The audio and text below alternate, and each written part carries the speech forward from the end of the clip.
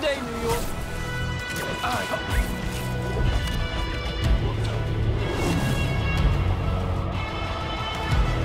Officers respond. Witness report of an active drug deal.